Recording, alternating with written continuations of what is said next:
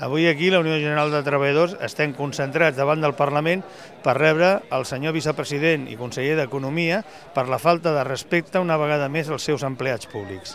Aquesta concentració és en contra de la falta de sensibilitat i de concreció amb els pressupostos d'aquells compromisos que es va aprovar per al propi Parlament per unanimitat.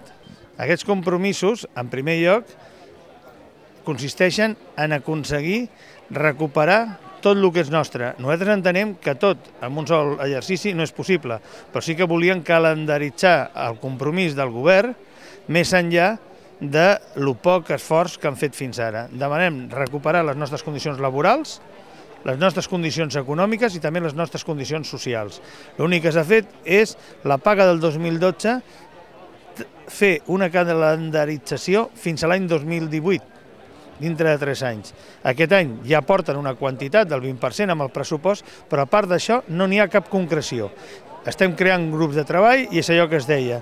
Si quieres que se haga una cosa, ordena que se haga. Si no quieres, monta una comissió que hablan, que passa el temps, i per tant el que demanem és concreció i resposta i que els treballadors públics no tinguin que continuar ajudant a tancar el pressupost social del Parlament i de Catalunya. Això simplement és estar avui aquí present el dia que es presenten els pressupostos al Parlament, als representants del poble de Catalunya, per dir-los que els treballadors públics de Catalunya no estem d'acord amb aquests pressupostos. No només per les nostres condicions, que són importants, sinó també perquè no tenen un caràcter ni social ni de respecte als ciutadans del nostre país.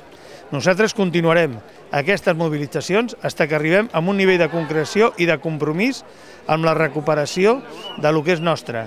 Tornem a repetir, no tot amb un exercici, però sí calendaritzar totes i cada una de les retallades que hem patit més que qualsevol altra administració, ni del país ni de l'Estat.